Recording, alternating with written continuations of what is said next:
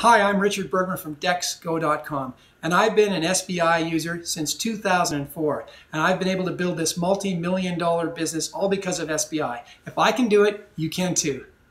Richard's solo build it story will resonate with anyone that has created a brand new product and tried taking it to a market that knows nothing about you. How do you gain credibility, traction, and most importantly, sales?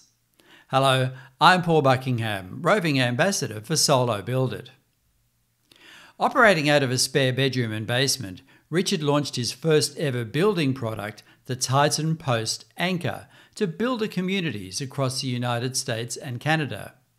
At the time, he was sure he was onto a winner, but he had to prove it to himself and the hardware outlets who would otherwise completely ignore him or beat him down in price. His only method of gaining credibility, traction, and sales was to build a focused online business with Solo Build It. Now his product is sold online, distributed through the hardware outlets that previously weren't interested, and his multi million dollar dream is a reality.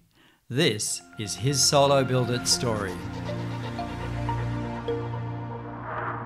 So you really kind of thought online is the only way for me to go. Is that correct? Yeah, I, I, I knew it was the only way to go. And the reason was? The reason was is that uh, no big retailer is going to take me serious if I've never sold it and I can't prove to them that I have something they want. They want products that sell. I got it. Here's the proof. Let's do business. So basically, having an online business was going to be critical to the credibility of your product from a sales point of view, the marketing to be able to reach a large number of people, and also just the earning the right, saying to somebody like an outlet, hey, yeah, you know, I've got this thing and it really is needed and wanted. That's critical. I think if you're selling hard goods, I don't know how anyone else would do it. Now, I know I, I've seen other people do it the old school way, pre internet, and it can still work, but it requires having very, very deep pockets a benefactor who can keep funding you. And then each time you take funding, you lose a part of your company. I own wow. this. I own this company, lock, stock, and barrel. And if it go, that's good, but it's also bad. If it goes down, I go, I go down with the ship. So, but I really would have it no other way. What was your journey to solo build it? That's a great question, and I came to solo build it after having been through the gauntlet of trying other things. So for almost two or three years, I had been researching everything online. I had been taking courses. I had I, I, I the first site I had prior to this uh, was built with GoDaddy and a webmaster who charged me a fortune to build a site to sell a single product that was not was was useless, quite frankly, and cost me a lot of money but I did learn a little bit about how not to do it and why you need control over your own store, over your own site. Why you, if you're starting out, need to be able to publish your own pages and build the structure of your site around certain keywords. All of that became crystal clear to me when I read Ken's first ebook. I read it from cover to cover a couple of times, and I knew that this guy was the real deal. And I knew that what because I, I, had the scars. So like he would say certain things, I'm like, yep, yep, that's right. And I knew, okay, this is I can do this, and I can. Why did I spend 15 grand with that webmaster that didn't even listen to all the things that I was telling him to do that Ken is now reinforcing and saying to me I should have been doing? So I had learned enough that I just was like, okay, I got to go dig into this. And uh, that's what led me to SBI. There are so many experts in the in the internet world and in the online sales world these days. They'll often say, "Well, all you need to do is to set up a Facebook page or a Shopify account with a free web page." And yet you've gone down the route of creating really a mega information site that supports your product and the credibility of your product. What's the difference between the two as you sort of stand on the outside? That's a fantastic question. Uh, because I, I have I have a, a friends and family members who have built other products on their own, and it's a very tight product, and it they've just built a say a Shopify store and they've tried to pull some traffic in from Facebook with targeted ads and they have some success, but it's like a treadmill that you have to keep feeding. And so fortunately, and I give all this credit to Ken uh, because without it, I wouldn't be here. I just would not be here. He said from the very beginning, theme, and he still says it to this day, themes, broad enough that any product you develop fits under that umbrella. Don't you could make your umbrella small if you want, sure, but then remember that that smaller umbrella only covers so much area from the rain. So that's your zone. If you have a fairly broad umbrella, you have more room to work with. I'm working within that whole protected area under my umbrella, which is deck building, outdoor living. Now I came up with one product that fits into that beautifully, but I can write endlessly on this stuff because I love it. And I'm constantly in this milieu. I'm a, I'm a, uh, I'm a student. I'm a enthusiast of this particular topic. And that's where SBI shines.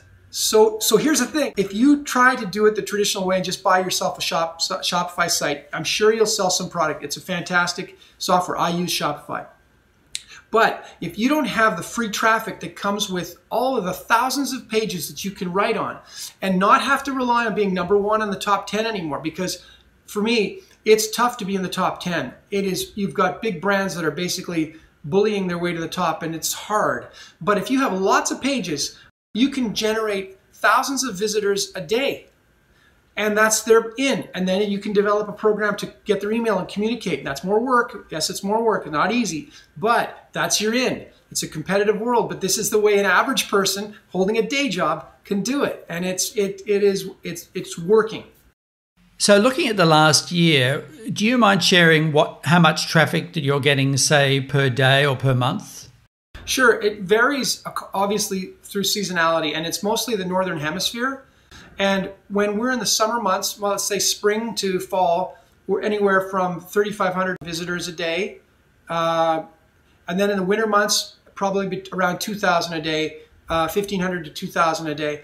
The thing about that amount of traffic is that it's a really good indicator that you don't necessarily need a lot of traffic in order to have a successful, profitable online business with Solo Build It. Because basically, you're talking about a dedicated, committed audience that is specifically interested in your subject.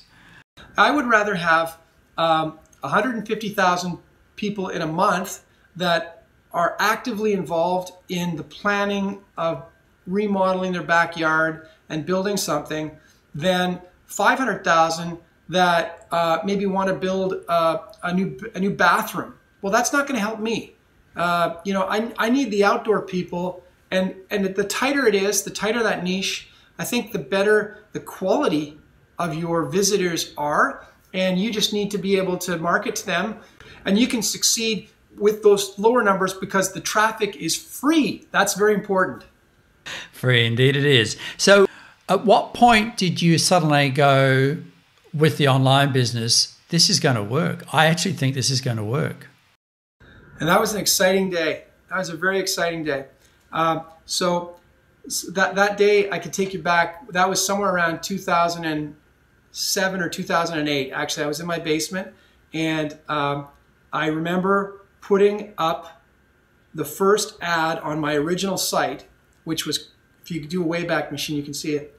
And literally the next day I had my first sale. It was $9.99. Uh, and I thought, wow, that was amazing. Gee, that, that was quick. And then, and then there was a little bit of a delay, you know, because it was February, right? Middle of the winter. But by March 1st, between March 1st and March uh, 30th, I was getting orders every day. And I was, I was starting to realize that I'm moving through this inventory. I was going to the post office every day, then I was going to FedEx every day. Within two months, I had sold everything. So I remember that feeling right off the bat. I'm like, wow, I'm not going to lose my shirt. Oh, happy day. It's a pretty pivotal lesson also in relation to somebody building an online uh, site that's looking at this right now and going, you know, it would be easy to give up when you have had a failure, perhaps with um, another service that doesn't provide the context that Solo Build It provides. Take it from me, Solo Build It has everything that you need to make this a success. And if it's not, you're going to see it because Ken takes you through those strategies of, of determining whether your niche is any good or not. And it's clear. You know, that's another thing. Get the confidence. Don't start writing about, uh, you know, butterflies or something if nobody's interested in butterflies. Uh, and so I really think that the chances of failing, you have exponentially reduced the chances of failing with Solo Build It. Absolutely. Um, and I'm proof positive of that and have done it the other way. So that's what I would tell people.